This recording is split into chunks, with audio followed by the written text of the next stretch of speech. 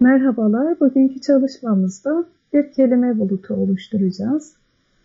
Bunu WordArt isimli 2 aracıyla yapacağız. Google'a WordArt yazdıktan sonra şu sayfayı açıyoruz. Ve bu sayfada oluştur düğmesi, şuraya oluştur sekmesine tıklıyoruz. Karşımıza böyle bir sayfa açılıyor.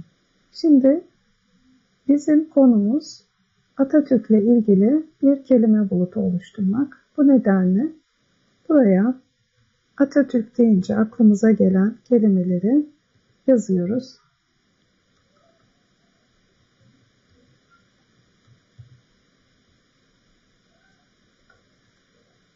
Örneğin Atatürk deyince Ankara geliyor aklımıza ya da insan sevgisi,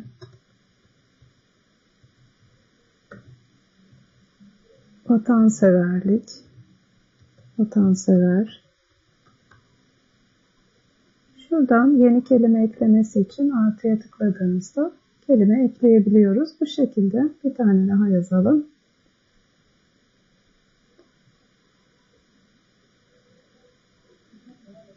Türkiye diyelim. Evet. Ve Cumhuriyet.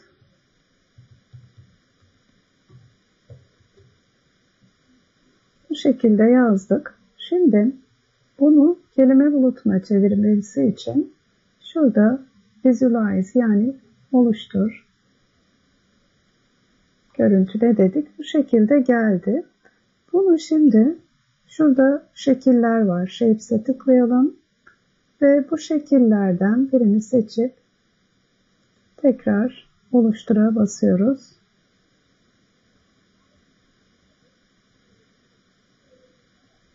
Bu şekilde oluşturuyor. Şimdi biz bunun arka planına bir de fotoğraf ekleyebiliriz. Örneğin şuraya fotoğraf ekleyebiliriz ama bundan önce internetten Atatürk ile ilgili fotoğraflar indirip buraya yüklersek bu şekilde kullanabiliriz. Atatürk görsellerinde arama yapalım. Örneğin şu fotoğrafını alalım. Sağ tıklayıp resmi farklı kaydet dediğimiz zaman masa üstüne bunu kaydediyorum. Şuradan fotoğraf ekleme yeri Add Image diyor. Buraya tıklayıp şuradan bilgisayarımdan yükle sekmesine tıklıyoruz.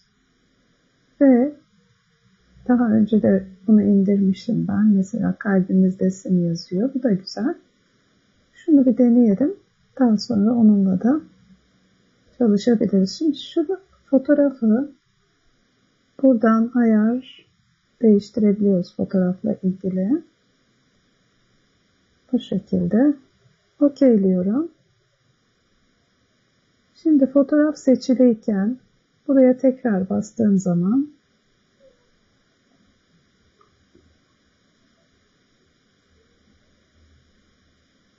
bakın şu an bu şekilde oluşturdu. Şimdi fonta bakalım. Fontta da yazı tipini değiştirebilirsiniz farklı yazı tipleri kullanabilirsiniz. Oluştur dediğimizde bu yazı tipiyle yazacak yazıları.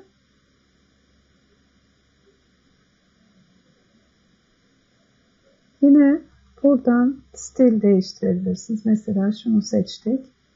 Oluştur dedik.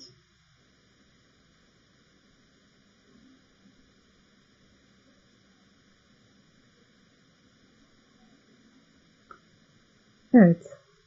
Son olarak stile bakalım. Burada da yine belirginleştirebilirsiniz. Arka plan resmini daha belirgin hale getirmek için bakın tamamen resim geldi. Bu sefer yazılar ama kayboldu. Ona göre şu şekilde ayarlama yapabilirsiniz. Resmi biraz daha ön plana getirebilirsiniz bu şekilde. Yine şuraya tıklayıp resmin üzerindeki yazıların renklerini değiştirebilirsiniz. Buradan birkaç renk daha ekleyip örneğin bu rengi şu şekilde renk paletine renk ekleyebilirsiniz.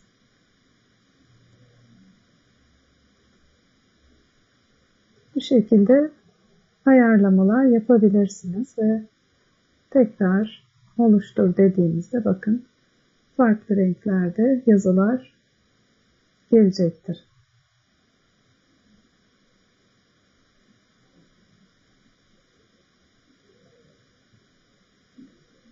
Evet bunları yaptıktan sonra şimdi bunu nasıl paylaşacağız? Şuradan share diyor bakın. Paylaş ve link şu linki oluşturup bu linki kopyalayacağız.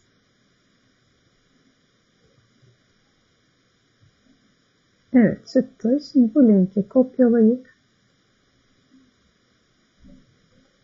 sanal sınıfımızda paylaşımda bulunabilirsiniz.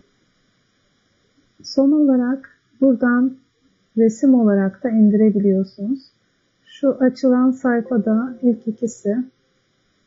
Evet bunu bir kaydedeyim. Şuradan tekrar göstereyim. Ya standart PNG ya da JPEG uzantılı iki şekilde de indirebilirsiniz. Diğerleri ücretli olabilir. Bu ikisini indirip resim olarak da paylaşımda bulunabilirsiniz. Hepinize iyi çalışmalar diliyorum.